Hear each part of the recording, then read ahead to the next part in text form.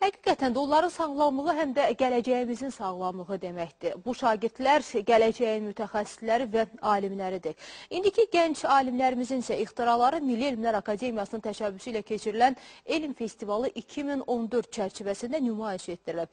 Əməkdaşımız Ayşə İsəzadə festivalda maraqlı məqamlarla qarşılaşıb. Buraxılışımızın sonuncu sujetini izləyək. Respublikada ilk dəfə keçirilən elm festivalında ölkə alimlərinin dünyada qəbul olunan elmi uğurları nümayiş olunur. Məsələn, bu roboqator adlanan cihaz 20 sm məsafədə qarşısındakı maneəyə hücum edə bilir. Öyrədiklərimiz e, sadəcə həyatda olan sənayədə istifadə olunan və yaxud da ki, hərbi sənayədə istifadə olan şeylərin e, kiçik konstruksiyalarını, kiçik belə mat e, motivlərini hazırlamaqdır. Mən bura ona görə gəlmişəm ki, bu gənclərin istedadlarını tanımaq üçün, bunların e, əl işlərini görüb və görmək üçün.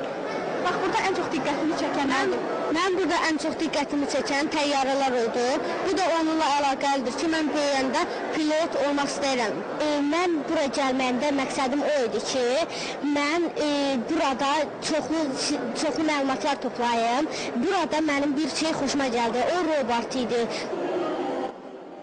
Festivalda Azərbaycanın milli mədəniyyətini, keçmişini, tarixini əks etdirən stendlər iştirakçıların diqqətini çəkir.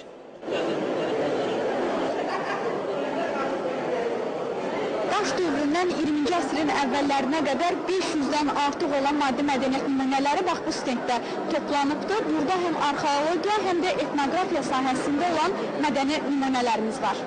Azərbaycanda elm festivalının təşkili ilk təcrübə olduğundan festival yalnız Bakını əhatə edir. Əgər bu təcrübə öz səmərəliliyini sübut etsə, gələcəkdə regionlarda da keçiriləcək. Ayşə İsazadə, Elvin Hacəliyev, Bakı.